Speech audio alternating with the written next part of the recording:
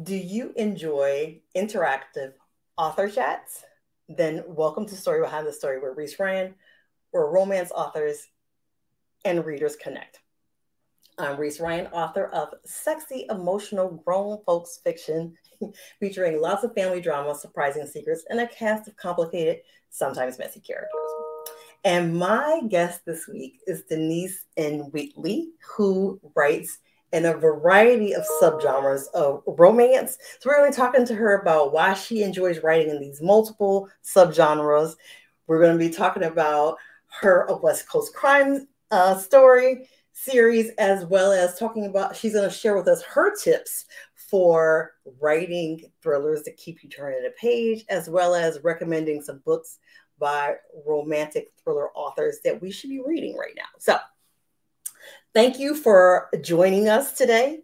If you are joining us from Facebook, um, welcome. Well, you need to, it's a very interactive show and you can, you know, have, we have allow you to comment and uh, ask questions and stuff, and we'll try to get you your questions as we can throughout the show. However, if you are coming to us from Facebook, if you have not done it before, you will need to give Facebook permission to see or uh, give StreamYard permission to see your Facebook uh, profile as well as your name so that you can be a part of the discussion. So, uh, as I was saying, Denise is going to be our guest. We're going to get to her in just a minute. And if you're coming to me from my newsletter list, I'm glad you're able to join us live. After the show, I'm going to hit your with a reminder because there was a ton of information in that newsletter. A lot of stuff's happening. Um, I often get asked if I have audiobooks and an audiobook came out today, and that's the Valentine, a Valentine for Christmas. That came out on audiobook today. And I think last week, a cowboy kind of thing came out on audiobook. So those two books are available for audiobooks. If you're a member of my newsletter list, you'll see that and be able to see the links there uh, in the newsletter. And then this Friday on March the 24th at 7 p.m. here in Raleigh, North Carolina, I'll be attending a romance event and book signing at Quail Ridge Books with Annie Rains, who had a recent release, as well as author Nancy Naigle. So we'll be there. It's a free event. If you haven't been to Quail Ridge Books in a long time, you'll want to come there because I haven't been there in many years. And when I looked it up, I couldn't believe at the new, beautiful, gorgeous store that they have now. So you absolutely want to join us if you're local. Uh, we'd love to see you. So um, I think that pretty much covers everything. Like I said, if you're on Facebook, don't forget to hit that link at the bottom of the description so we'll be able to see who you are. And we're going to get right into it and chat with Denise because I have so many questions for her. so, hello, Denise, and thank hello, you so much for joining us. Thank you for having me. How are you? I am good, thank you. I'm really glad to have you here. Oh, and you know I love you and I love your books. So I'm excited to have you chat with us. So, first of all, everybody probably does already know who you are, but in case they do not, can you tell re I'd never like to read bios on this show. I like to have people give us a little bit of who they are. So tell us a little bit about who you are and what it is that you write. Okay, so my name is Denise N. Wheatley. I was born and raised in Chicago. I always tell people I come from a family of readers, my father being the nonfiction, mom being fiction. So I took after my mother. And uh, always been a lover of books. I used to cry when I was a kid before I learned how to read. So I've just always loved the written word. And um, it was my senior year of college when I decided to take my first stab at writing a book. So all throughout school, I would write my little poems and short stories and whatnot. And Terry McMillan was my biggest inspiration. Started writing my first story after uh, first book after college, and um, the first book was published by Simon and Schuster in 2004. I wish I never met you, and I've been writing and ghostwriting ever since. Oh wow! Okay, yeah. and I didn't know you did ghostwriting too. So oh, yeah, that was my. So my next question was, how did you get started as a romance writer? You told us who your inspirations were, and mm-hmm. you know that you've been reading since you were little. So how did you get started writing romance? So I have to tell you, as a kid, so you know this about me, Reese. I was always sneaking my mother's books. So Jackie Collins, Danielle Steel, Sidney Sheldon, those were Stephen King, even though that terrified me. But those were the books that I started reading at a very young age. No business doing it, but I did. And so I just got acclimated to the romance world and fell in love with it back then. So it stayed with me. And then through my English classes in school, I have a degree in writing. I just decided, you know what, I'm going to go for it and see if I can do this too. And again, it was Terry McMillan where I saw myself in some of her books, and I thought, okay, I, I might be able to do this. So that's how I got my start. I think just the education, my mother, who was so confident. I had a lot of people laugh at me and say, oh, write a book, please. Yeah. My father did one of them. Yeah, people didn't believe that I could actually do it. So I was so excited to have pulled it off. So I love that. I yeah. love that. Yeah. Yes, my my new philosophy in life is like I'm taking the Beyonce philosophy, where she said, "You always stay gracious. Your best revenge is your paper." So being yeah. able to do that thing that everybody thought you couldn't do. Yep. That can be. You can use that as fuel. You know, you can either yeah. you you can either let something like that tear you down, or you can use it as fuel. So I love seeing people use that as as fuel. So absolutely good for you. Good for you. So let's get into what you write. My goodness, you okay? So you already you write contemporary, right? Mm-hmm. And then you're writing these romantic suspense and these thrillers and stuff. And recently, it was announced that you'll be writing for Harlequin Medical, which a lot of people here might not even know that Harlequin has medical uh, romances. So tell us how, why it is that you were drawn to writing in these different subgenres instead of like focusing on on one. What do you enjoy about writing in multiple subgenres of romance? So writing multiple genres is interesting because you don't get bored and you don't burn out on one thing. Contemporary was where I started, kind of leaning more towards women fiction, women's fiction. I wish never met you is a bit of a, I would call it more of a dark rom com. There are a lot of jokes in that book, but it's, you know, that book was, I got to go beside myself writing that one. It was a little bit, you know, the cursing and whatnot. That's okay though. We'll save that topic for later. But anyway, I think with the romantic suspense, I got interested in that because I, in my free time, I was watching true crime nonstop. I still do. That's all I watch. That's wow. why I'm so I love true crime. And so in writing the romance, I would take a break from it, watch all these shows, listen to the podcast. And I finally say, you know, it would be nice if I could merge these two and find a way to bring both of these interests together. And then that's when it dawned on me. And, you know, again, growing up, I was reading Sidney Sheldon, not knowing a lot of his books were romantic suspense because it didn't really mm. have for me back then. Yes, I mean, so many stories have a romance in them, right? They, they might not be romance, but they might yep. they probably have some kind of love story or whatever. Right. So that's interesting. Right. And even Jackie Collins, you know, she wrote um, a lot of about the mafia in her book, so there was a lot of suspense there too. But of course, she had the romance weaved in throughout. So being able to merge those two has brought me so much joy, because again, it's two of my main interests coming together as one. And then, so with the medical, so it's it's kind of a sad story, but kind of not. So my father passed away in 2010, and he was really sick, lung cancer, congestive heart failure, and I was his caregiver. And I really developed a close relationship with a lot of his doctors and the nurses. Then my mom fell ill in 2018, so I was helping. I still take care of her. And in that, I started to see, I got so close to the medical field. I studied everything. I did my own research on everything, all the medications they were on, procedures they'd have to get. So in that, I figured, well, this is kind of like a new interest. I'm always looking for, you know, different solutions to illness and natural things as well. So I kind of started to incorporate that too. And that's been a nice break from the suspense because I tell you, Reese, I told my editor, I am tired of killing people. to find an outlet. I'll always have that in my heart and we'll come back to it. But in the meantime, excuse me, let me get into another form of writing that'll kind of give me a little bit of a break. So yeah. medical has been perfect for that. And that's required a lot of research too. So now look, I think I'm a doctor, forensic scientist, florist. I have so many occupations in my mind. that is the thing. Like every time I pick, you know, a career from my one of my characters, I'm like, oh, this will be really interesting to have, have this career or whatever. And then you realize, okay, I have to know stuff about this career, and you got to do all this research. And yep.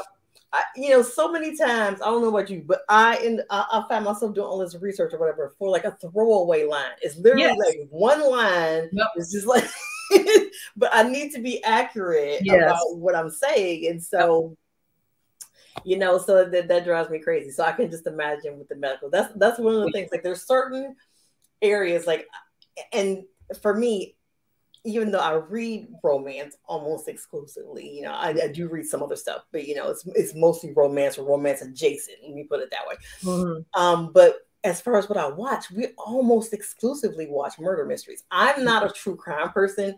Okay. I but we watch a lot a lot of murder mysteries. I watch cozy mysteries as well as procedurals and stuff. And like I have been wanting forever to get into uh, to write a romantic thriller or a romantic suspense because I'm like I watch yeah. this stuff all the time. But I'm always like a little bit terrified about having to do all the research and stuff. Oh, yeah. Those deep dives are intense. They're intense.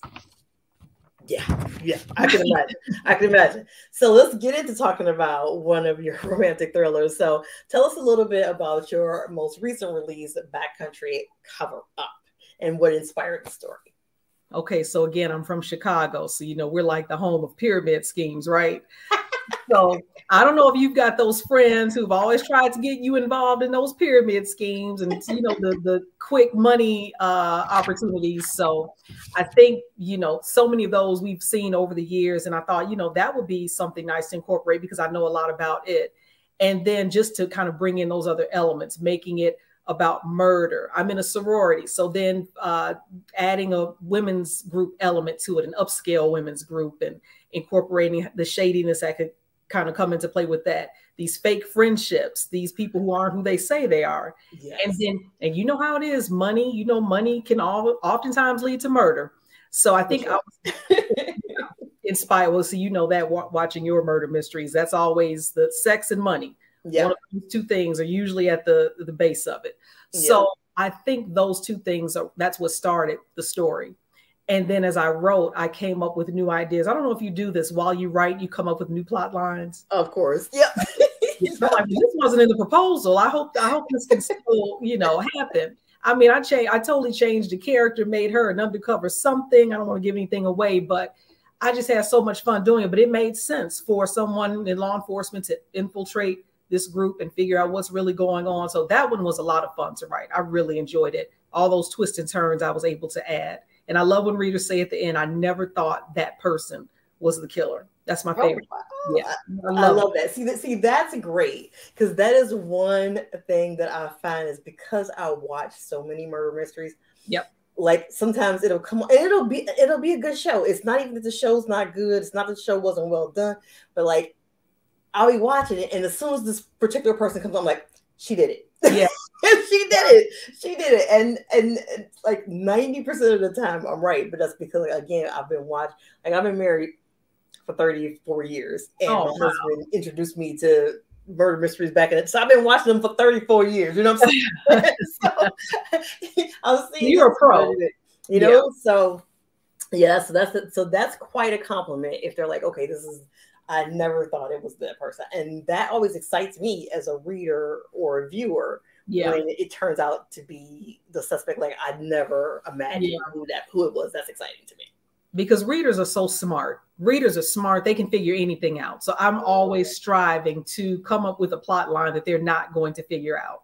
So I always try and weave in so many different twists and turns just to get them get their heads and a lot of different directions. So, because I never make it the obvious person, I try not to do that. Yeah, yeah, yeah. That that is one thing. Like a lot of times, I'll, there's something I come. I'm like, you know what? That's too easy. It's just too easy for that to be that, that person. right. Yeah. It's always cool when it's that person you kind of and when it's that person you kind of forgot about. You know, they popped up and you're like, hmm, nah. they have they have no reason to do this, but yeah. And then oh yeah, they did. yeah. So tell us about your series, A West Coast Crime Story. Okay, so anybody who knows me, they know I love California. I'm like a Los Angeles junkie. That's my favorite city in the world. So having a story, and Clementon, California is actually fictional because I love making up fictional towns. But my character did, yeah, I love that. But my uh, main character in the first book, The Heart Shaped Murders, she did work for the LAPD before coming back home uh, because there was a serial killer after her that she was on the cusp of uh, capturing. So, but overall, that series is about the Love family. So it's a family of law enforcement officers. We've got the father, Kennedy Love, who's the chief of police in Clementon, and then his children. That's the children kind of spread out through the series Lena Love, Miles Love, and Jake, Jake Love. So, um, book one serial killer. I love writing these serial killers. Book two is a serial killer. Well, I might as well say all of them, but it's all related to something involving this family. So that I just finished the third book in the series, Homicide at Vincent Vineyard.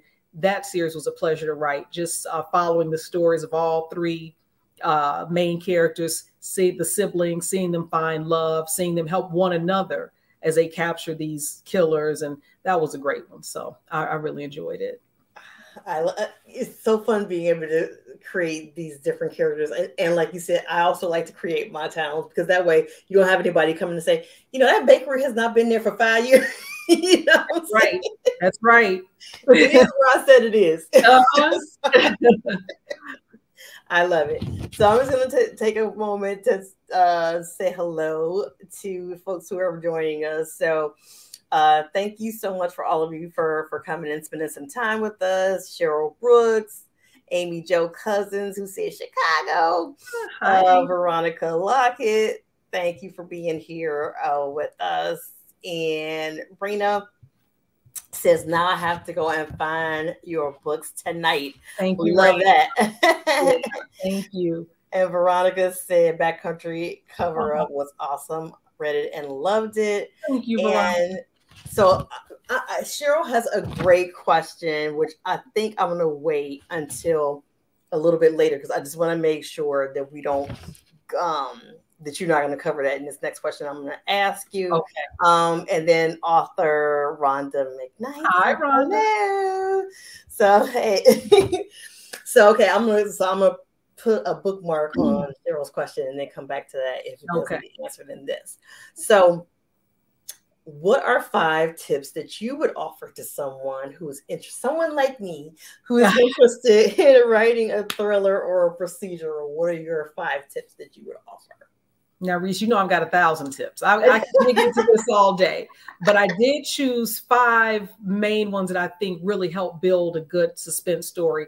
I think the first thing, and I always keep readers in mind when I when I think of these ideas, but the first one is coming up with a thrilling plot because I don't know if you noticed, for those who love to watch these types of shows on television, 911, and do you notice how the plots are becoming just more and more outlandish? They're they're coming with so many different creative ways, but the way to someone is like one of my favorite shows. yes, and in the beginning, they something crazy happens. I love that, and that's that's what I try and do, coming up with this thrilling plot, and then starting your book off with some big action scene that's going to really bring the readers in off top. So I think opening with a really exciting scene and then having this plot that's got a lot of twists and turns or red herrings. So with me, I love writing serial killers who aren't just killing people, but they have some type of sinister modus operandi. They're, you know, there's they have a signature, carving yeah. a number on somebody's chest and things like that. Um, I love doing doing those types of stories. So I think that's the start. Come up with a great plot. Try and do something nobody's done before. Just put a twist on something that might be a little bit common. So once you come up with that thrilling plot, I think next coming up with really compelling characters. Mm. So, you know, I love second chance romance. So I think second chance is awesome when you've got two characters who already know one another in some way, whether they worked together in the past, they were involved with one another in the past. Um, I love a detective who's burnt out. So he left a big city moves to a small town thinking he's going to just kind of lay back and arrest people for stealing soda from the gas station. And then he, he gets hit with this huge, that was Bayou Christmas disappearance. He got hit with this huge kidnapping case he didn't expect. So he's exhausted, but he's trying to, you know, get to the bottom of the case because, of course, it's assigned to him.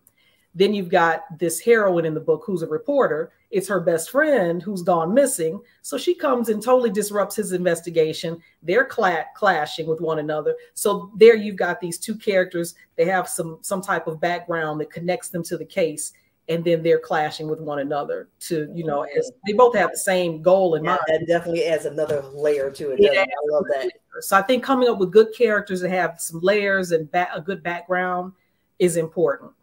So we talked about this one, my third one. Do your research. You got to do your research because, again, I've got police officers reading my books, attorneys, and thank goodness they they've all said, you know, you were really on point. You knew your stuff with this, but I always do my research. So, um, you know, I wrote about a forensic scientist, and with that, it's so intricate because I talked about going into the lab and running blood through the machine, DNA, things like that. So, doing your research being precise and exact on the facts you're putting into a book. I think that's very important. Uh, my fourth one would be pacing. I think pacing is really important in a suspense book because once you start to build some momentum, you don't ever want to bring it back down. Mm. So as the book goes on, you know, you might want to start off with things slowly progressing, but once you get to a really high point in the middle toward the end of the book, don't you don't want to bring readers back down. So you want to kind of pace it at a nice spot. You won't be towards the end of the book, and then you're kind of like, okay, now wait a minute. I hit all my high notes, and you know, it's like a song. You, know, you wait till the end to hit all those good high notes and, end it with a bang. You know, what did Heavy D say? Started with a pow and ended with a bang. I love yeah. it. how you want to do it. You want to be able to end with a bang. So pacing the book appropriately, I think, is important too to keep the readers on the edge of their seats. And then lastly, if you're writing a romantic suspense, I think it's important to keep a good balance between the romance and the suspense. You want to be careful not to have those moments of um, of excitement or attraction happening in a scene where there might be uh, something tragic happening. You know, your characters are not going to start making out at a crime scene. Yeah. So, that kind of does drive me crazy with like a lot of action movies and stuff. I'm like, really, right now? Not right now. Exactly. exactly. So there's so many down moments, and I think that's a good time for you to incorporate some of that chemistry between your characters over dinner, over coffee, if they're in the evidence room. So those more quiet moments where there's some dialogue, you can show the chemistry there. Or if you want to incorporate it into an action scene, um, maybe it's them showing care for one another, you know, trying to save the other from imminent danger. So I think it's a it's a fine line that you walk, but keeping the balance, making sure there's a lot of excitement happening, and then keeping the romance and the chemistry there as well is important. And for intrigue, we're not; those are pretty low heat books, so there's not going to be a lot of steam. But you have to find a way because we it's still Harlequin, and Harlequin readers want some romance, so you have to kind of find a way to incorporate it and still keep that suspense uh, in the forefront as well. Yeah, and with Harlequin, there they have the two different lines: it's romantic suspense and then intrigue. And right. with romantic suspense, I think it's seventy percent the relationship, and like thirty percent is the, the uh, you know mystery or whatever. Right. Intrigue is like the opposite. It's right. Seventy percent the the intrigue or whatever that's going on, like thirty percent romance, and not high heat, not a lot of you know language and stuff like that. So right that's for anybody too who might be considering writing uh, romantic suspense for either one of those lines. That's the difference in the yeah in those, in those yeah. two. So, um, for me personally, like I am more drawn to the romantic suspense line as far as a, as being a writer because I, you know, I can go with a little heavier heat and I can go with yeah. a, a little bit saltier language and yeah, yeah, and all, and don't have to focus as much on the stuff that I'm a little concerned about, like the procedural yeah. and all that kind of stuff. Right. But intrigue is where it's at in terms of the sales, in terms of it being available everywhere. Mm-hmm. And all of that. Yeah. So that is something to keep in mind as well. Yeah. So. Intrigue is definitely more gritty. It's black ops. It's serious murder. It is just, you know, but you're right. The language can't can't be there again low the steam is a little bit lower but it's high on the high on the grit because i'm yeah, high on the grit so you mentioned so many great um points. You talked about that plot that's exciting and and you mentioned uh, that's a great example that you mentioned 911 it's not necessarily a a, a mystery show but it's like you know but it, it has all of these you know um those scenarios responders first yeah. responders. But this that show is wild. It is wild wild wild with like yeah. the different stuff that happens. And they're also very good at that show of like the endings of getting you hooked yeah into the next show with their endings. Yes. i i love that show so much. I love the character the depth of the characters i like. I love damaged characters. Yeah. And so they have plenty of those and you yeah. get to delve into all of their different issues and stuff and so, yeah, that's a great job. And then you talked about characters, mm-hmm. and that's so important. I, two of the shows I just really, really love um, what they've done with the characters in terms of um, like a mystery show is the show. One of the shows I always look at for character development is um, Elementary, and that was uh, CBS's version of Sherlock Holmes, where they had mm-hmm. uh, Jonny Lee Miller and um, Watson was a woman. It was Lucy Liu, and yeah. their character development was so good. Like he could do the smallest things, and you having followed the show, knew how how big that was for him, like as far as his growth as a as a character yeah. and the way they work together and stuff. So I always like that. But this new show, Will Trent, which is also based off of a series of uh, novels as well. Um, it is amazing. The characters are amazing, and I, you know, I kind of love these broken characters. And you got this, mm-hmm. like you said, you, there's the mystery happening, and then there's, you know, whether it's some kind of history or clash or whatever between the characters, that always makes it so much more exciting. So that show is a great example of that. So I love it. I love it. I love it. That's exciting to me. So I love all of these fantastic tips that you give given us and like pacing and the balance and all that kind of stuff. So excellent tips. So did we answer Cheryl's question in that? Um, you know what? No, and I'm glad you mentioned that because I was okay. going to ask the next question, but let me make sure. Yeah. So before we get to our Rex, then yes. Um, let me go back to her question. Let me find it. Okay, there we go. So the question is Do you put in red herrings? I sure do, Cheryl. I love a good red herring. So basically, if people haven't heard of that, a red herring is some type of clue or hint that you throw into a book just to kind of lead readers astray, where they think it's a clue that's going to help them solve the case, but actually you're throwing them off the trail of the truth. I yeah. love that. Again, uh, with the twists, with the turns, I think red herrings are so important to make a good thriller, good romantic suspense. They're so much fun. And then when you weave everything together and the plot comes together in the end, you realize something you read in chapter two was resolved in chapter 22. It's like, oh, that's it's just so exciting, you know, yeah. as a reader. And even yeah. as a writer, because I put stuff in books and I forgot about it. And I go back, I'm like, oh my goodness, I can't, you know, how did I think of that? But you know, you know this as a writer, you get into these moments you get something comes over, you put something in the book, you step away, you come back, you're like, did I write that? I know, right? And you go, uh, I, uh, I, go, I go back all the time. I'm like, did I? I wrote that? Oh, yes, yes. we, we black out when we write, right? We're blacking out because we are just in a zone. Yes, we just like, like you just go where the characters lead you, right? That's right. That's absolutely right. That's why a lot of times, like you were just saying about how just the story changed from the proposal. Yes. I feel like a lot of times my proposal just a suggestion, a mild yeah. suggestion, because yeah. we're gonna like it's a I, and I do I have found that I need that foundation. Yeah, but I'm gonna go wherever the characters take me. Absolutely, and, you know. So sometimes you know something will happen, and like I remember I did a, this is not thriller, but I did a proposal. When I did the proposal for um, I'm not gonna say the book, but I did a proposal for a certain book, and there was uh, something that happened. Let me, I don't want to give away something. So there was something that happened in that book, mm-hmm. and the editors were like, "Hey, that's great, but could you make it happen in like in the first third of the story?" Mm-hmm. I'm like, mm. "Sure." Well, when I started writing the story, that's just not how it worked out. It worked out the way I had originally planned it. Yeah. And so it happened near the end of the story. Yeah. That's it. so, Did they even remember that they made that suggestion? Nobody said anything else to me about it. And I'm glad they didn't because yeah. the way it worked out was perfect. Yep. Yep. if I had tried to flip it, you know, I would have been forced in the situation. And that's just not how that story and those characters, that's just not how it worked out for them.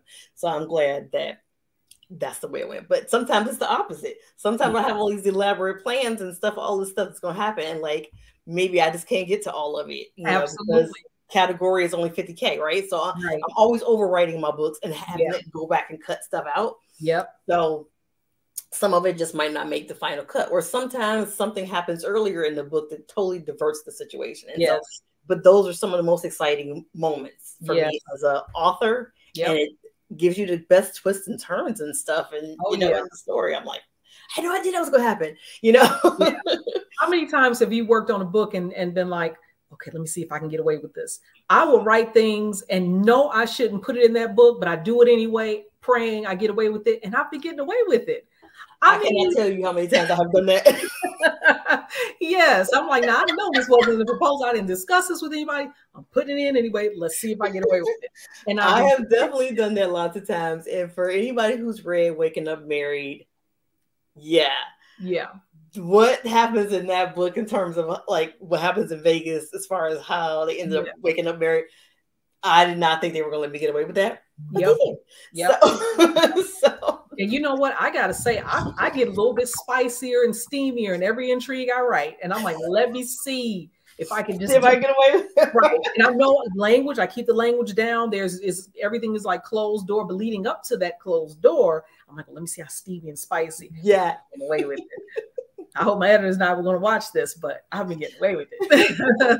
I love it. I love it. I love it. Yeah. All right. So let me look at a few more comments before we go to our recommendation list. Yes. And Cheryl Brooks, we were talking earlier, said that reminds me of the mystery series Jesse Stone. I remember that with Tom Selleck, um, originally a book series. And I'm going to tell you, so many of these really great mysteries Mhm. series and stuff. You go look for it, and you know, I'm like, okay, this was a series of books. You know, Yes. whether it's Miss Yes. Fisher's murder know. mystery, Right. Murder in Provence, yeah. um, just so many uh, Agatha Raisin. Just because I watch, as you can see, I watch a lot of British and Canadian Yeah. mystery shows. Yeah.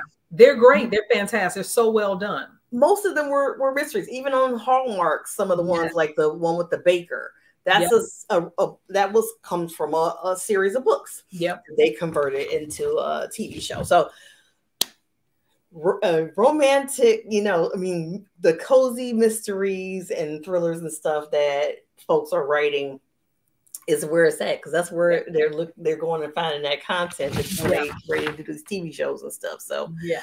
um and Pam Kelly says hello from Houston. yes, Rita chime in about the research. Yep. Yes, that is yeah.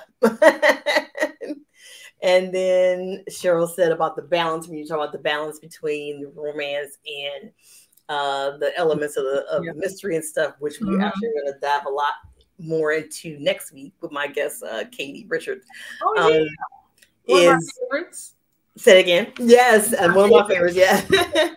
so yes, that is important because it is easy for one to overshadow the other. So it's finding that right balance is is great. Um, yeah, Rhonda says I'm interested in tr- in intrigue. I love the books. Yeah, I am interested in intrigue as well. It's probably one of the yeah. So um it- it's a great line and there's so Yeah. many fantastic authors writing for it so lots of excitement um yeah and then Raina says i had no idea about the difference with harlequin i need to pick up uh, this up more often yeah so yeah that's that was the interesting thing to me like i said when i started looking at it because i i have forever been wanting to write a romantic thriller but it's like i've been so busy and Yeah. constantly you know on and going over and over, having all these books, having all these deadlines, so that I have not really been able to do anything. So I've been like sitting on a few story ideas that I really, really want to do for maybe at this point, like maybe seven years. Oh, wow. You know, so I was like, I, I need to find the time to do that. So, Okay. um, okay, so Rhonda has a great question. Did Denise study any books or take any particular online classes that helped her with learning the mystery writing craft? You know, the best way to learn for me is to read the types of books that you want to write. So that was a big one. I read a lot of craft books. Uh, Forensics for Dummies is one that I've read. I do a lot of research online. So that's always helpful. But yeah, reading mysteries, I read a lot of intrigues. I love that intrigue line. Um, and you know, with the shows that I watch, you learn so much because I'm watching the real shows, the Datelines, 48 Hour Mystery, Forensic Files, um, the cold case shows. I learned so much from those. Those are real life detectives. First 48 is another great one. The the cast, um, well, the the department in Memphis, they were fantastic. Sergeant Caroline Mason, I love her so much. She was in Memphis. I just learned so much from watching real cases get solved. So that's really where I came up with. Um, that's where I get a lot of my inspiration, a lot of ideas, and where I learn a lot of the ins and outs of how it all works. But I think having those craft books, uh, doing a lot of research online because everything is online. There's so much you can find online, and I find I've done deep dives for medical and intrigue just just on websites because it is all there. So everything Yeah. you know. It's amazing You- what you can learn these days. Like, like you Yes. can look up almost anything on YouTube, right? Oh, yeah, you can perform surgery. I can I can perform surgery at this point. I've watched so many YouTube videos. So yeah, yeah, and, are on there. You know, uh, giving examples of how things work in an ER, and so it's fantastic. And and that's a great suggestion. Like I said, because I like I said, I'm I'm more into the mysteries. I'm not a true crime person, but if you're going to write some a procedural especially yeah um, or anything like that it makes sense to mm-hmm. to start to delve into that and i could just imagine it's a treasure trove of like ideas and inspiration yeah um, for storylines and characters and all that stuff watching that and you know paying attention to the news and stuff oh, and yeah. stories that come up and can can give you ideas and stuff so wow that makes a lot of sense. And you, you know what? you, are gonna make me have to write, watch some true crime. Go watch true crime, Reese. I'm gonna make you. And you know, me being in Chicago, we have so many unsolved murders here. You should hear me watching the news. I'm like, no, wait a minute. I know there was some fingerprints, and I have a, a in real life. There's a soror of mine. I'm an AK, and she was beaten to death in her home. Her name is um, Aaliyah Newell. She was bound and beaten to death in her home her case has not been solved. I think she passed over a year ago. I am mm. so angry, and I'm just, yeah. you know, so you should hear me run, rattle yeah. off all of my, you know, my forensic stuff, and I'm like, I, I, need to get the chief of police on the phone. This case should have been solved. It, it's yeah. it's really unfortunate, but we know what happened. They they delved so deep into the whole Jussie Smollett situation, right? They figured that out, but yet we've got all these deaths and you know we don't know who's killed so many of these people in the city. It is so upsetting. It is it is very upsetting. It so um uh cheryl says i agree. Real, will trent is good. The Alienist is also a good suspenseful period I've, I've heard that one and i haven't seen that one yet. So um yeah so that's that i have to look that up and then Raina asked, "Wait, so you have rules to write for Harlequin?" oh, oh, honey, yes. Let me tell you. yeah. so, because every every line, like especially with the categories and stuff, different imprints, they have their own kind of promise. The imprint does, or their own kind of rules or whatever. For instance, Kimani, both Kimani and Desire that I wrote for, both have this kind of thing with wealth, right? So I'm actually a person, I love writing about regular people. That's why my rich people come off as regular people because I really want to write regular people. Yeah. so even though they have to be wealthy and in a wealthy world, and that gives them this additional agency or whatever. I always try to make them come off as regular people. So, as a matter of fact, a librarian said what uh, she said what I write is chillionaires because they're like billionaires, but they're chill and they they yeah. come off like regular people. And so, but yeah, so each different line has their own kind of you know vibe or yeah. rules. So yeah. of course, Love Inspired is not going to have a whole lot of language. They're not going to have on the page sex, you know. So it's right. just every line is different. Is different. Yeah. know, whether it's special edition, you know, is going to have a, a a set of you know kind of parameters for right. their for their thing. They're more family, their friends, their community. Yeah. Right. So it, it depends on what line you're writing for. And that that's what separates the imprints. And right. so re- the readers of those imprints know what they're gonna get. Mm-hmm. So when it comes to something like that, so yeah, more so than like a, a bigger imprint that just has all kind of different books that might be wildly different from each other. You have those similarities, so there's that familiarity right. um, within within the different lines. So yes, so I hope that answers that. and Rhonda said, "I love British TV, honey. I love Brit. I love the BBC shows so much. BritBox yeah. is my thing. Yeah, and Acorn, you watch Acorn. Yeah, I watch Acorn, yeah. but we. I used to have Acorn and BritBox. I might still have have them both, but we watch way more BritBox, BritBox than Acorn. Okay but I love them both. And mm-hmm. I also love Canadian shows. So, like the Murdoch Mysteries, which is a period drama, is so fun because they often bring in real life characters like Ford or Tesla and just like all these, you know, cool different things in history. So that's super interesting. Um, but yeah, so I but I love, love, love the British shows. I watch like Father Brown, Agatha oh, yeah you know, just in Australian shows. I watch some of those too, oh, like okay. Miss Fisher's mur- murder mysteries or whatever. So yeah, those are fun. Those are a lot of fun. Yeah. Uh, Rand says, I love cozy mysteries. Yep.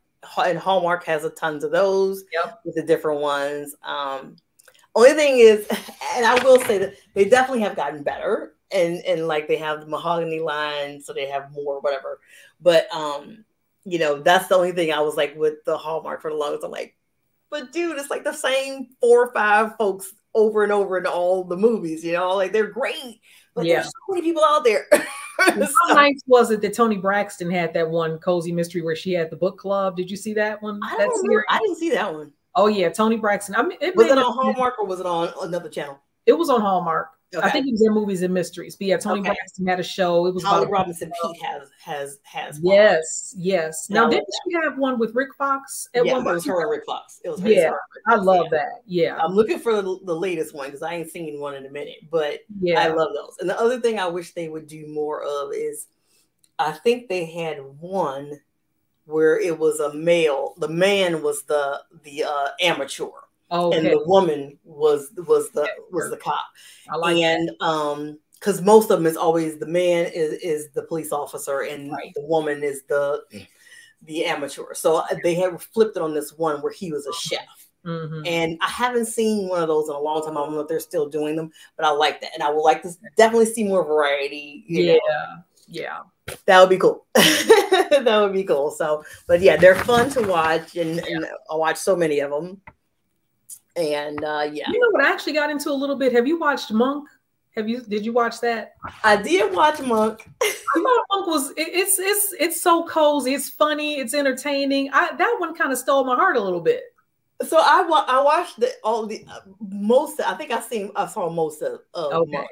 And yeah. so I did like it, and I, I do like it. He just after a while he got on my nerve. And I, I think the reason he got on my nerve so much is because I just didn't like how he treated Natalie. Yeah. And I, I understand all of his little quirks his and all that. And yeah. I get that. And that's cool. That's that's I like that they had the representation of somebody who, you know, had these kind of perks. I just didn't like how he treated Natalie. And that yeah. drove me nuts. Yeah. So. Yeah. So but yeah, yeah, but it is a good show. The mysteries were always mm-hmm. good um mm-hmm. on it. And you know, and I also thought at some point it became more about the shtick of him mm. than the show. Exactly. I think more yeah. But yeah. the earlier um seasons for sure are really, mm-hmm. really like yeah. yeah. yeah. Yeah. So I totally I, I, totally agree on that. Yeah. Um oh, and Rhonda said she didn't think about TV shows, so thanks for the suggestion. Oh yeah. Yes. Okay. Uh yeah. I agree, Uzo. There's so much stuff online. It is definitely rabbit hole territory. I can't tell you how many times I went to research something for whatever reason and got completely lost. Oh, okay. so you do have to watch that for sure. And hey, Mia. Hi, Mia. so yes, all the true crime, all the true crime, lots of inspiration. And we were talking about the rule, rules with Harlequin, and and Rhonda said many rules. Yeah. oh, cool. Oh, and Brenda said I, am thinking she's referring to you, Denise. Did she no, I'm thinking she's referring to you, but okay. So, so say thank you, somebody, either one, we're gonna say thank you for. Yeah. we appreciate it so much. Yeah. And Rhonda said, "Hi, my billionaires are down to earth too." Yeah, I love that. I'm like, that's my that's my way of like skirting the system. I'm always trying to be a rebel. So yeah, I like that. Yeah, I, I, said the same thing when she said it. And I'm I'm so glad I remembered the phrase because I couldn't remember what the phrase was because it was like three or four years ago that she said it. And when I thought of it again, I'm like, I love that chillionaires. That's just like yeah, that's absolutely perfect. So um Cheryl says yes to BritBox. Check out Vera. I've had a lot of recommendations for Vera. I've got to watch that right now. We're watching. We watched Death in Paradise oh yeah. I think this is the final year for it. Yeah. But there's a show that's a spinoff of it. Humphrey was one of the DIs on Beyond um, Death, Death in Paradise, and now he has his own show called Beyond Paradise. So I had just started watching that first one. Okay. Yeah. Um, and I'm assuming Rhonda's talking about um, Hallmark in terms of getting better. And I do agree that in period, there's been a lot more diversity, especially like more with, with the holiday shows and stuff oh, for yeah. sure. Mm-hmm. But and other shows, but I would also like to see the more of that in cozy mystery. Like I said, we got right. Holly Robinson Peete representing for us. Thank you, Holly. But I definitely want to see Toni Braxton. Got Toni Braxton. Yeah, and I gotta I gotta catch that one because I did not oh, see oh, yeah. her with a mystery. There's another one too that was a mystery. And I don't remember the character's name, uh, the actress's name. Mm-hmm. But if you watch SWAT, she plays Hondo's girlfriend that's pregnant right now. And she was also in that Tyler Perry movie with Blair Underwood that she was the one Blair Underwood was seeing and and and, and roughing up. Oh yeah, had a show where I she like was a mystery show. Yeah, yeah. I like. I can't think of that. I can't think of the name of the show. Rachel Rochelle. I, I know who you're talking about. The really it's Rochelle something because that's okay. right. I, I used her. She was my example, like inspiration cover character inspiration. Yeah. Yes. Yeah. So uh, her name is Rochelle. Mine too. At one point, she's beautiful. Yeah, she is gorgeous. Yeah. Yes. And Raina says, "Yes, I'm so glad it's getting much better." I yeah, and like I love seeing uh Carolyn Hector is really good. If you were into holiday movies and stuff, every year she like gives you all the list of all the holiday movies and stuff and seeing how much more diverse they are yeah. now is just so exciting for me so i definitely want to see more of that with the cozy yeah. mysteries too so yeah um Usa said Death in Paris is my fave cozy mystery TV show, like the mix of British and Carib- mm-hmm. Caribbean characters. I agree. I, I, I, love that. I love yeah. that. Um, okay, so Pam asked me a good question. Do you ever worry that your stories are too common that people have seen it before? And I mean, I guess that's a, that's a question you can ask about anything because the same thing with romance. Like there's so only so many stories in the world or whatever. Right.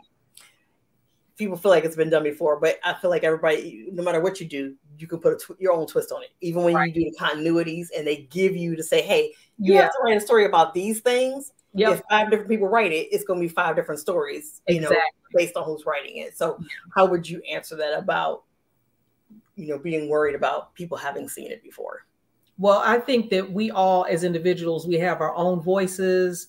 We do have our own twist. I think part of being an author, coming up with something creative, a creative way be, to put a twist on something. We've we've seen so many different serial killer cases. So for me, it's like, okay, what twist can I put on this? One twist I always like to put in my my killers are never random. They're always somehow connected to the case, which those are the true crime stories I'm most interested in watching. So of course, those are the ones I like to write.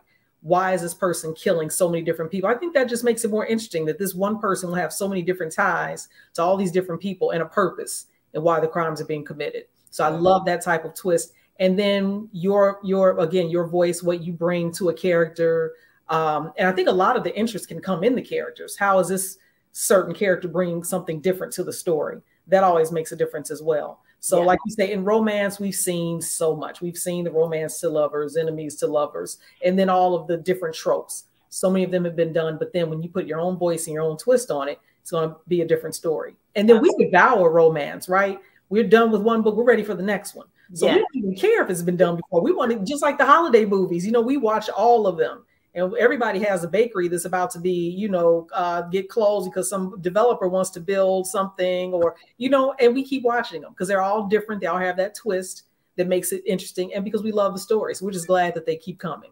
Yeah. So, yeah. yeah. Uh, that is that is so true. So true. Yeah and I, there are times when I like worry. Okay, does this does this feel like this? And I'm like, no, the characters are completely different. Yep situations are different.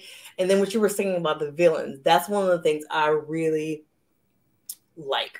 Mm-hmm. Is I like a story where the villain, no matter how awful he might be, I, especially when I feel like when he feels like he has some more noble purpose, right? Yeah. So, like, I, for anybody who watches like the Marvel universe or whatever, like the end right. game and with Thanos and stuff, mm-hmm.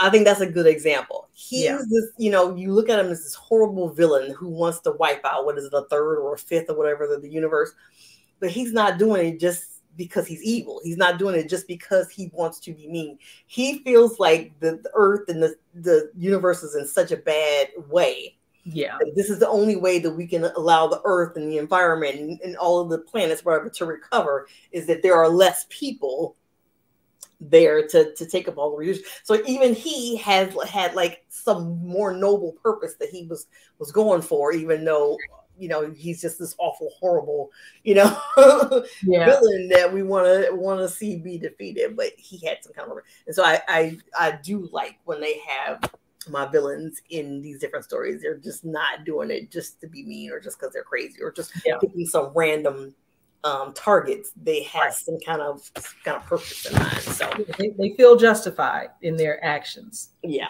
whether they are whether they should be or not. Right. Um, Raina says Monk used to be one of my favorites. Um, oh, okay. Oh, Bree. Hey, Bree, how are you? Um, Hallmark has a genealogy cozy mystery I'd love to see more of. I feel like they slacked off on the rest. I feel like that too. I was wondering if it was just me because I feel like we haven't really been seeing them because they used to come like I felt like every Sunday it was a new one, one of the different was it the puzzle maker, was it the the uh you know the um it's so many different ones though. they have royalty oh, Baker, just just yeah. they all these different ones. And so it yeah. used to be like in rotation every Sunday right. was somebody new. And I feel like the same thing. Like I'm not really seeing that much of yeah. it. So that's interesting. Um, let me see. yeah, so okay, we addressed that. Oh, okay. Thank you, Veronica. Toni Braxton, Fallen Angels, Murder Club, Heroes and Felons and Friends to Die For. I don't know how I missed that. Oh I yeah, look for that. And Veronica was Rick Fox on that one. I, I feel like Rick Fox was on he her. Was on, he was definitely on Holly Holly Robinson. Right. I, I, feel like he was on Toni. I might be wrong. I, I feel like I saw him. So it was she had some really handsome co-star with her. I thought it was Rick Fox, but yeah, I'm not sure. Yeah. Yeah. Can't go wrong with Rick Fox. Okay. and thanks, thanks, Mia. It's oh, Rochelle. Yeah. Yes. It is Aytes mm-hmm. I, yeah. that's her name. Yes. Yep. And she said she was also, oh my, I can see that her inspiration yeah. for Harper in Monopoly. Uh, yeah, yeah. I, could, I, could, definitely see that. Um, and that yes, that was the name of it, Veronica. It was Redemption in Cherry Springs for Rochelle. So yeah, I love. I actually really did like that one too, mm-hmm. and so I'm looking forward to seeing another one of that. Um, and then Brie also said hope we see more of that. I definitely do. Uh, let me see. That's funny. All the bakeries are at risk. Yes, every bakery. yeah. And Uzo agrees with you that the author's unique voice and spin in the telling of the story is so key. Yeah. Um, okay. So now let's get into this list because uh, we had so many comments. I'm trying to keep up with y'all. I'm sorry. oh, okay. This is a good question. Brie asked. she said, Denise, oh. have you ever creeped yourself out during writing? And I, I'm, I'm glad she asked that question because when you were saying you love writing serial killers, I'm trying to think of that one British mystery that's been on like for 19 years. It's, oh, it's I, I, can't I, I can never remember. It's got the creepiest opening music. But like we had gotten into that when we were watching that one, but then we were like, okay, I need a little break because it's like every one episode is a, a, a serial because they always kill at least three people, right? That makes you a serial killer, right? So yeah, so she asked, Do you ever creep yourself out with your the better question is when have I not creeped myself out? When have I not? Here's the thing. I watch true crime all day. I'm watching YouTube true crime, which I absolutely love. There's some great uh, vloggers on YouTube. And then Investigation Discovery Channel or Oxygen. My television is always on that. And it's because it's an addiction. So, and then I write well into the night. I cannot tell you between the 2 a.m. and 4 a.m. hours when I'm up writing, true crime is on the television and then I start hearing noises. You know what I mean? I'm like, oh, somebody's trying to kill me.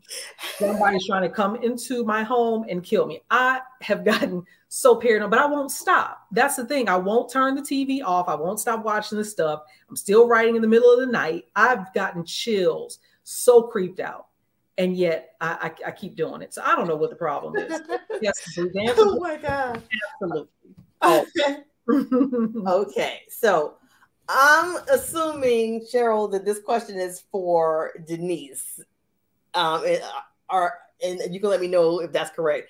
If you're talking about in the terms of writing it, because I would, I would, I would think you need to know from the beginning to be able to. Set well, we can, we can both answer that one, Reese, because you have an opinion of what you enjoy. You know. Yeah. So I mean, so what? What I mean, what?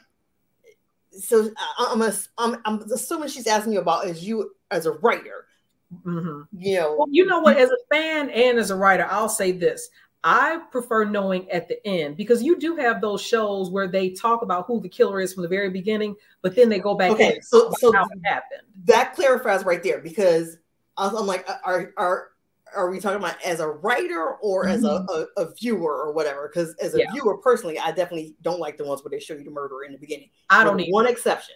What's that? There was a show called Motive, which I Oh, feel like yeah. was initially a Yeah. Canadian show, and then it came Mhm. here. And Motive was interesting because it showed you the murder in the beginning, Yes. but you had to figure out the motive. So you Okay. knew who the killer was, and you Yep. knew who the victim was in the very beginning, but all Mhm. along you're trying to figure out the motive. So that's Yep. the only that's the only different one that I would say I was probably different with. But Yeah. like for the most and and, and okay, Columbo, you knew what the murder was from the beginning, and the entire thing was never about looking at other people. It was about this cat and mouse game between him Right. and the killer and Mhm. being able to figure. So I guess those are the two exceptions for me. But Yeah. other than that, I always, for me as a viewer, I always want to know at the end. What about you? And see, Reese, that's that spin. We talk about how to put a spin on something because we've probably seen so many of the cases that were on Motive, on Columbo, and all these other shows, but that's the spin they put on it. You already know who the killer is. So you don't spend the whole time trying to figure that out. You're trying to figure out why it happened, the ins and outs of how it happened, and how, you know, what led up to it. So for me, as a viewer and a writer, I prefer to know at the end. When I'm reading something, writing something, watching something, I always enjoy but some sometimes it can be interesting to throw that in the mix, knowing in the beginning and then kind of back backtracking. Only sometimes. Uh oh, Reese, what have, what have you seen? So look, look, I'm, I'm gonna let you finish. Okay. but that's I, I totally I totally get that. But I, I was just asking for myself personally, as Okay. the writer, yeah. I would think you need to know from the beginning. Oh Yeah. you do. I I was, okay, that, that's what I was gonna say. Because Yeah, how, yeah. how are you gonna set it up Yeah. if you don't know who to? Because like I, we talked about things happening in a book like you didn't expect and stuff. I wouldn't think that that would be one of the situations in which that. Yeah. like if you don't know who it is, how are you gonna do the red herrings? eh, You don't know all that kind of. I don't know, but Well, you know, from a writer standpoint, for us and with Harlequin, we know you have to tell your story from start to finish before it even gets approved for you to write.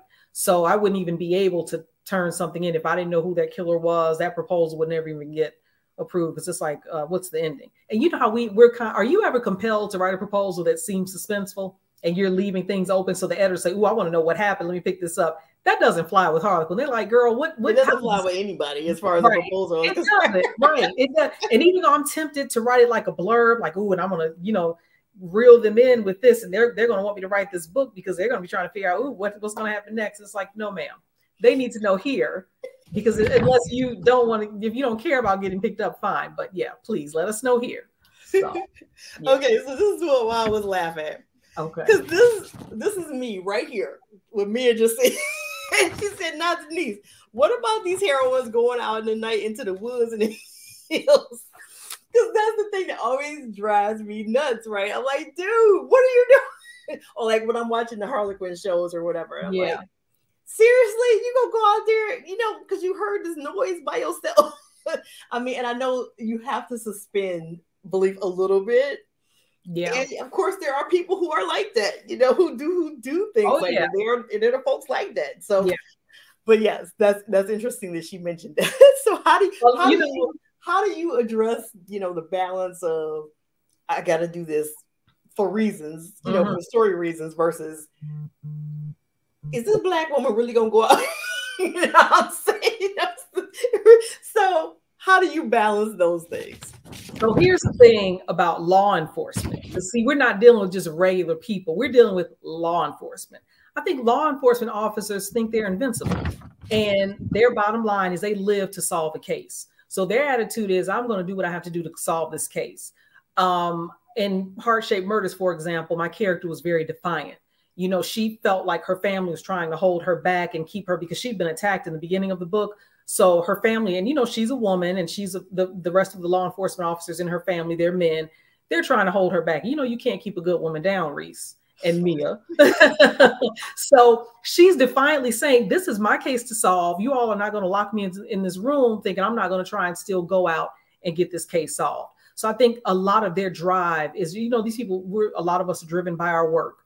Law enforcement officers, their reputation is on the line when it comes down to solving a case that they've been assigned. This is their responsibility. The community is depending on them. They're depending on themselves. So I think when you're driven, because I don't know, in real life, and I think I have some of that in me, in real life, I will be so driven to accomplish something. I don't really, I'm not like this as much like I used to be in my 20s, but I don't really care about repercussions. I'm going to get something done because I'm so determined to do it. And I think that's why I write like that. Because mm. because so. I'm I'm not thinking about I don't know I can't speak for Mia, but I'm not thinking about actual detectives. I'm usually thinking like with the cozy right. mysteries, it's usually you know Candace Cameron Bure or somebody like that. You know what I'm saying? it's just the it's the librarian, yeah.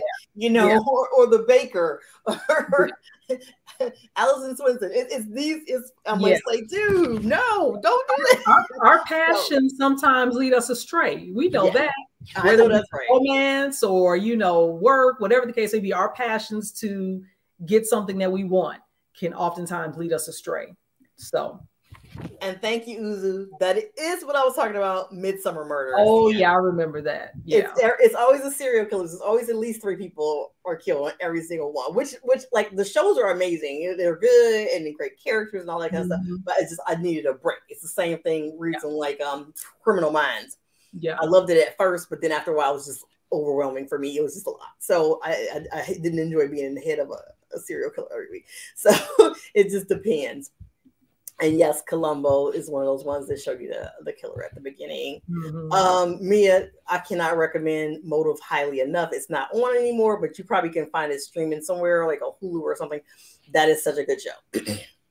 so um, let me just try to make sure I got all the major questions here. So now let us get to. okay, Cheryl says I can't stand when a heroine is reckless just to prove a point. So, and, and like I said, again, and the funny thing is, and I love badass heroines. So I'm like, I have to balance that in my head between I love badass heroines. I love them lovely. You give me a story, a movie, whatever, with a badass hero, I'm there. so I do have to kind of to balance the whole thing. So uh, and it just depends on who they are. Like, like, and, and, I think too the motivation is strong enough. Like, right. I remember reading, I feel like it was one of yours, where um, it was the woman was she was in somewhere in another very heavily invested. Like if, if you have a, reason, like it's it's your sorority sister or it's your neighbor, or it's your friend, or you're accused or somebody else that you love is like, that's a really strong motivation for you to go out and do what you need to do when you see maybe the authorities are not doing taking it seriously enough. Right. That's a very strong motivation. Yeah. So there definitely are, you know, reasons and exceptions that make you say, okay, yeah, yeah, I can understand why this person would go ahead and do this anyway because you know their their family is being threatened in some way, or this was their loved one or whatever, and nobody else is really uh uh you know caring about it. So that's right. It. Yeah. Okay, so let's get to our recommendations. So, um, first of all, let me just say, all the books of yours I got, I can't find a one of them. so I'm looking at everybody I know who I might have loaned them books to. I want my books back. Okay. so look, I'll send you some more if you need them, Reese. Just let me know. Like, I'm like, what happened to my books? I loaned them to somebody and I cannot figure out where they are. So, because you know, I got books all over my house. So, give us a list of either authors or books that we should be reading that are romantic or that are thrillers or uh, romantic suspense. Okay, so you know I have to start with my intrigues because I love the intrigue line. KD Richards for sure. She's awesome. I love KD. Um, Tyler Ann Snell is really good. So you got, yep, I got my KD collection too. So yeah, yeah. yep, I got one more. Yeah, yeah, KD is great. And KD comes, she's she's really kicking them out with her um with her West Investigation. West Investigations, yeah. yep series. So yeah, and then she does talk to her next week about that. Yep. Yep, her Christmas books are fantastic. So yeah, KD does a great job. Tyler Ann Snell is a great uh, intrigue author. Barbara Han is really good. She's a um, great one. Nicole Helm. So there, there are a lot of uh, intrigue authors that are fantastic. And I don't know if you know this, Jacqueline Thomas is writing um, suspense too. The Cold yes, case. Yeah. I got you. yeah. So you see, Jacqueline and I, you know, we talk and she's big on true crimes. We always have our true crime conversations. She's writing suspense cold case deceit comes out at the end of the month. Uh, so that's her second one. Now she's that's with yeah, uh that's, that's cold case deceit. Yep. Yep. Yep. So her and actually Mia recommended a really good book to me that I'm reading right now. It's called The Writing Retreat. And Reese, you would like this one. This one's up your alley. It's by an author. Her name is Julia Bartz, and she's this is her first novel, uh, and she's published by Atria. But her book is about two best friends turned enemies who are both writers who want to write novels. They get invited to attend this uh, exclusive writing retreat off in the woods somewhere, this big mansion. And I think the woman hosting it is one of their favorite authors. She's a famous author. So once they get there, they find out that they have to get a novel written in a month. So so there there lies this competition. But then the house is haunted, all these strange things start happening. And I've started, I'm not done with it yet, but it's really good. So that's I'm reading that right now. Because I good. think I've seen that recommended somewhere too. Yeah. Okay. Very yeah. cool. Okay. I'm enjoying that one. So I think it's good to kind of also spread your wings and read other things, you know, um, and just in, in writing in general, because it just keeps you sharp, keeps you inspired. You know, I read Just a Little Married. Uh, just I love that one. And A Valentine for Christmas. I've got I love that. So yeah, and then Darby. I know Darby's not. I'm not. I'm off suspense now, but Darby writes her special edition. Uh, Darby Baham. She's fantastic. She just signed a new contract with them. Her books are great. Yes. Mia, Mia, who's on here, Mia's book Monopoly Love is coming out. I love Mia's books. Mm-hmm. Friendship Contract was fantastic. Yeah. So I like to read a lot of different genres just to, to kind of keep me sharp. Yeah. Keep me on top of things. So um, Marcella Bell is another one too. And you know what? Chandra Blumberg. You know Chandra. Mm-hmm, mm-hmm. I got one of her books over on my desk over there. stirring up love. Just she's so good, so creative. I got two of them actually. Yeah. Yes, mm-hmm. yes. I think digging up love was the first one. Stirring up love. Um, that's her Taste of Love series. She is an amazing author. Just beautiful writer. Um, again, the creativity just jumps off the page. So I love her too. So I try and like read a lot of different books. Um, and then I'll pull out some old stuff too. Whacked by um, what is her name? Jules Asner. Do you remember Jules Asner from the E Channel, E News Live? She married Steven Soderbergh. No. He was a host on there. She wrote a book called. You know, I might know the faces, but the names do not yeah. sound familiar. She wrote a book called Whacked. It was it's a romantic suspense years ago, and it is i've read that book probably three or four times. It's so good. So i'll go back and reread stuff that i enjoy just to get inspiration as well. So you see i go on and on and on. Reese you gotta you gotta stop me and and then for more um romantic suspense or stuff um it's the atlanta's finest series by sharon c. Cooper. Okay. Um that's a, a long running uh series set in atlanta and she just had a new book. Did she just have a new release? I feel like she just had a recent. I think so. Yeah. A release in okay. that line, so that's that's awesome. Um, and yeah, I want to read. I know it's not related to this, but I actually that's on my list too to read. The build up by Tati. Tati. Oh yeah. Yeah. Yeah. So, but so Sharon C. Cooper and then uh Deborah Fletcher Mello has um a series of suspense, um, romantic with romantic suspense. Harlequin's a romantic suspense line about the black family. Their their name, their last name is Black.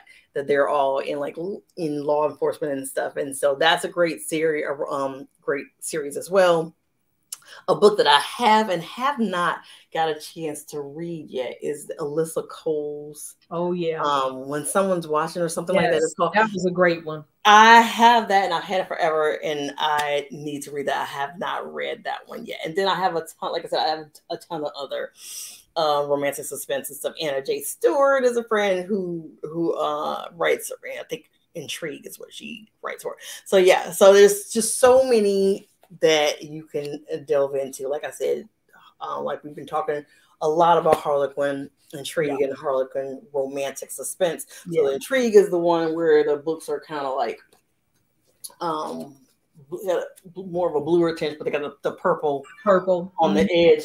And then the romantic suspense suspense ones are more burgundy. I don't have one sitting right here, but they have like a, a, burgundy on the on that little corner or whatever. Right. And those, so if you know, that's that's another thing. You can pick your flavor. If you want more right. of the romance and just you know, like less of the mystery or whatever, then and you want a higher heat level and stuff, then that's going to be the romantic suspense mm-hmm. And then they have love inspired suspense too. And then they have love inspired suspense. Mm-hmm. They sure do. So then you have no sex on the page, no no no salty language, none of that. So there's just all these different options, even within Harlequin, that you have that you can um, check out. So Um, so Denise, tell us what is up next for you. Okay, so May 1st, I've got Danger in Nevada Desert coming out. That's book two in the West Coast Crime Story series. So I'm really excited about that. And then this fall, Homicide at Vincent Vineyard, book three in that series. So book two, we get Miles Love's story. Book three, we get Jake Love's story, and that's going to be the end of that series. I'm kind of sad about it. I just uh, turned in my last round of edits for Homicide at Vincent Vineyard. So I really enjoyed writing that one. And then you mentioned my medical romance uh, contract. So that the medical book, my working title is Love in the ER. It's a second chance romance, and it's almost like enemies to lovers the way these characters are carrying on. But I'm writing that now. That one uh, will come out sometime, probably in the spring of next year.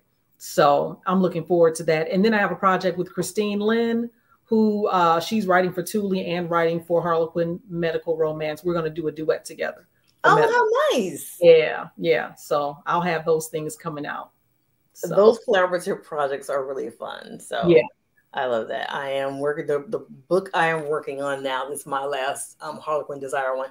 It is uh, part of a, a, quartet that I'm doing with Jules Bennett. So I'm doing okay. book one, she's doing book two. Okay. I'm doing book three, she's doing book four. So I am working on book three right now. I'm editing book, the first book, and then when I finish writing that, hopefully later tonight or okay. first thing in the morning, then I'm gonna go back to writing the uh, final book. Um, okay. So yeah, but that those those are fun for me because like there's a different there's two different kind of joint projects. There's the continuities where they give you the story bible, and of course you can add all your own flair and yeah all that kind of stuff to it.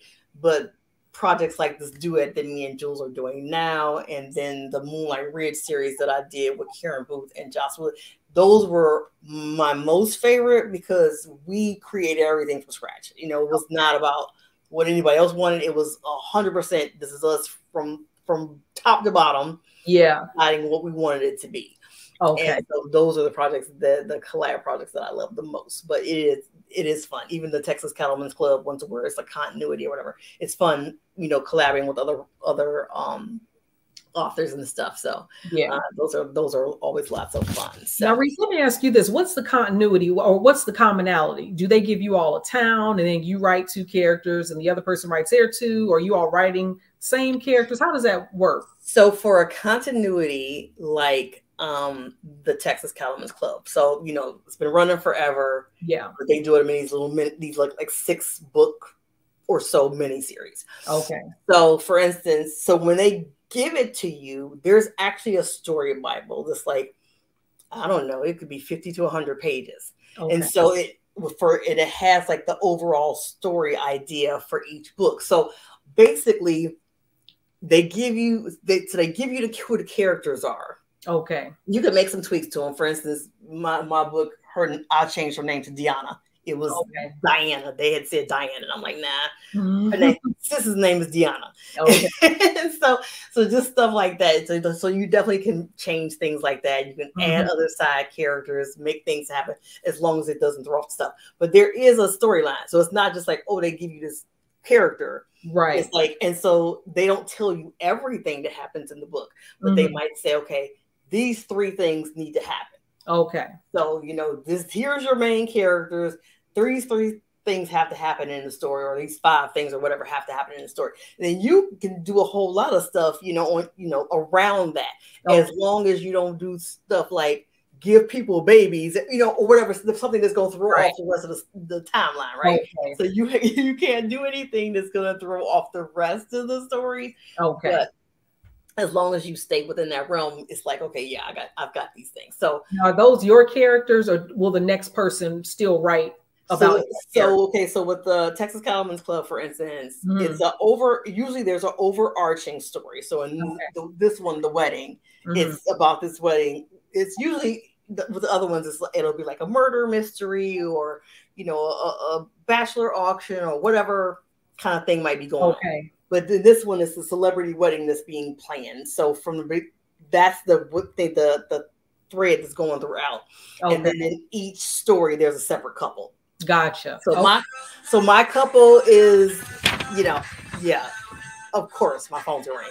But so the, the story, like you know, um, you have these things that have to happen. Right. But then after that, you're you you can do whatever else that you might want to do in the Okay. story. Okay. And so yeah. So those are always fun and interesting. And like I said, even if five different people get it, then five it's gonna be five five different stories. Gotcha. Even though Okay. it's the same things that have to happen. But so they don't tell you every single thing. Mhm. It's just you've got to work around these certain things that are happening in the story. Okay. So like I said, but even with that, you know, so I, that's great and it's fun and it, it, it challenges your creativity to make all these Mhm. other fun things happen, right? Okay. And you get to collab with other people because I really like to, as much as possible, bring other characters from the series Okay. into my story to really, you know, I, I think especially in this one, Secret Heir Seduction, I really, really got a chance to do that Oh, okay. he was a secret heir to a family. So I really brought in other characters that were his siblings and stuff that were going to be the characters in, in other books and, and were the characters in other books in the story. So, oh, Okay.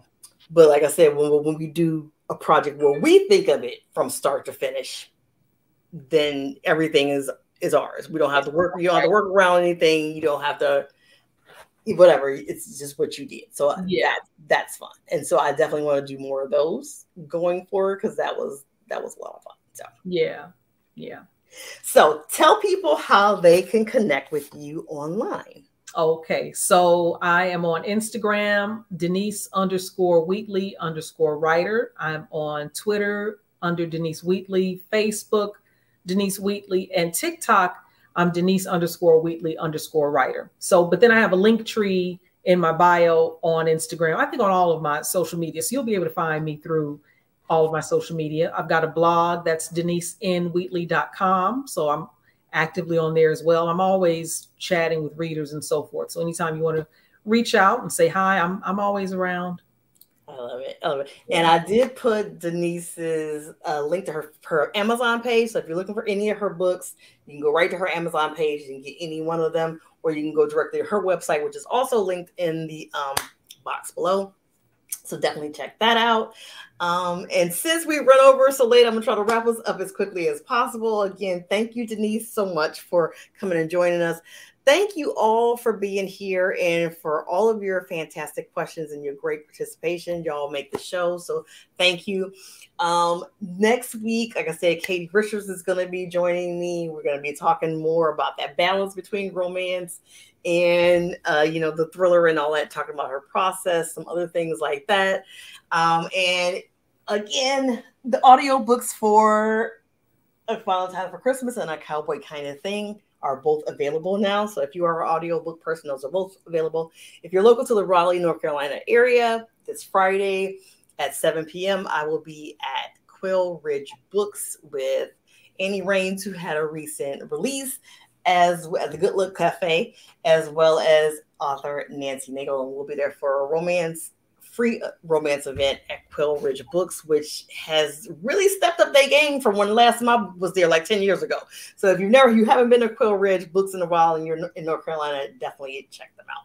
So I want to thank all of y'all for being here and for making this an amazing, amazing episode. We will see you. I will see you in two weeks on April the 4th at 7 p.m. when my guest is going to be um, KD Richards. And the show after that on April 18th is going to be Legend of Romance Shirley Hailstock. So you don't want to miss either one of those. Make sure you hit those reminder buttons and hit the like button on this today's show and subscribe if you haven't subscribed and share the show so that other um, viewers can find us. In the meantime, I hope you got some great uh, recs. And Yeah. comments that didn't get addressed, leave them on the comment page, and we'll try to uh, uh, address them as we can. You know, answer them as we can. But thanks again, and happy reading. Take care, y'all.